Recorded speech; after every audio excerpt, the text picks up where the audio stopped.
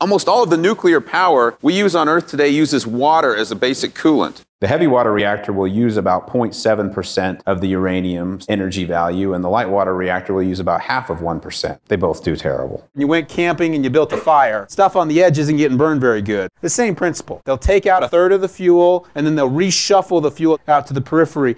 The solid fuel will begin to swell and crack. This is actually a gap in the fuel when the fuel swells, and the clad can't hold it anymore. It's time to remove the fuel from the reactor. At this point, only a small amount of the energy has been consumed. When we first load nuclear fuel, it is entirely uranium, and most of that is uranium 238. As it burns down to a year, two years, and then three years, you see those are the fission products and then these transuranics. The hatch at the bottom gives away the fact that the only fraction that has been truly burned is the fraction you see kind of in those light pastel colors.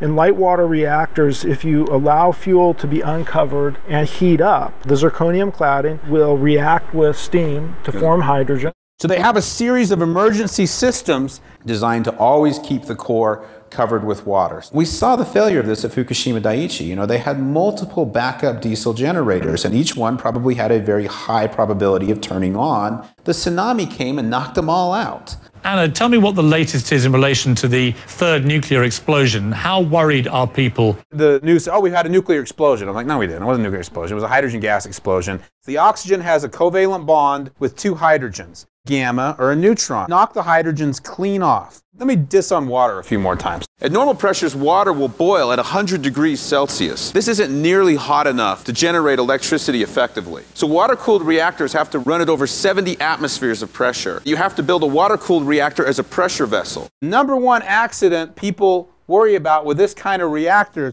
all of a sudden, pressure is lost in the reactor. Water that's being held 300 Celsius flashes to steam. Its volume increases roughly by a factor of a thousand. This building is the size it is, and it's the way it is, precisely to accommodate this event. When you put water under extreme pressure, like anything else, it wants to get out of that extreme pressure. Physical mechanisms. A dispersion get, term. Yeah, that can mobilize cesium and iodine. Almost all of the aspects of our nuclear reactors today that we find the most challenging can be traced back to the need to have pressurized water. As long as the reactor was as small as the submarine intermediate reactor, which was only 60 megawatts, then containment shell was absolute. It was safe.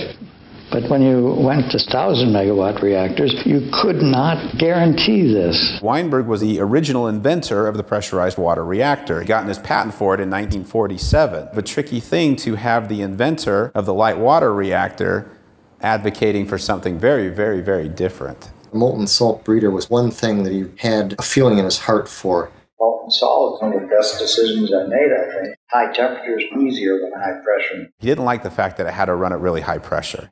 In some very remote situation, conceive of the containment being breached. Making enough of a stink. Congressional leader named Chet Holifield told Alvin Weinberg, if you're so concerned about the safety of nuclear energy, it might be time for you to leave the nuclear business.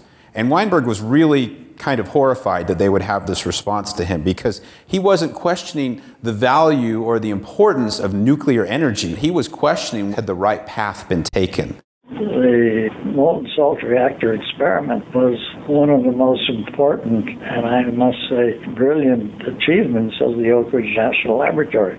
You nuclear engineers are probably going to think those are fuel rods. They're not. They're graphite. The fuel was a liquid that flowed through channels in this graphite. Instead of having solid fuel and a liquid moderator, liquid fuel and a solid moderator. One of the hardest things to get around is the large, heavy pressure vessel that's required when you use pressurized water reactors. Water actually is really good from a heat transfer perspective. It's good at carrying heat per unit volume. Salts are just as good at carrying heat per unit volume, but salts don't have to be pressurized. And that, if you remember nothing else of what I say tonight, remember that one fact. Once they melt, they have a thousand degrees C of liquid range. Science allows you to look at, at everyday objects for what they really are, chemically and physically. And it really makes you look twice at the world around you. Your table salt is frozen. That's a really strange thing to think about. Your table salt on your kitchen table is it's frozen. A nuclear reactor is a rough place for normal matter. The nice thing about a salt is it's formed from a positive ion and a negative ion, like sodium's positively charged and chlorine's negatively charged. And they go, we're not really going to bond. We're just going to kind of associate one with another, you know? And that's what's called an ionic bond. Yeah, you're kind of friends, you know, you're Facebook friends. Facebook, yeah, Facebook friends. All right, well, it turns out this is a really good thing for a reactor because a reactor is going to take those guys and just smack them all over the place with gammas and neutrons and everything. And the good news is, is they don't really care who they particularly are next to. As long as there's an equal number of positive ions and negative ions, the big picture is happy. A salt is composed of the stuff that's in this column, the halogens, and the stuff that's in the, these columns, the alkalis and the alkaline earths. Fluorine is so reactive with everything, but once it's made a salt, a fluoride, then it's incredibly chemically stable and non-reactive.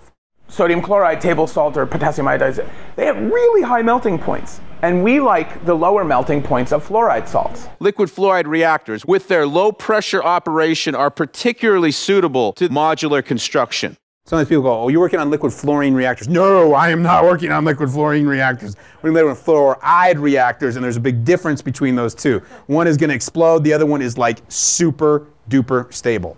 In the chemical conditions that you have with water, highly oxidized conditions, cesium and iodine are very volatile. Whereas in a salt reactor, there's nothing that cesium loves more than fluorine. It will compete with anything else to grab a hold of the fluorine, and cesium fluoride is very low volatility and very high solubility in salt. So no aerosols.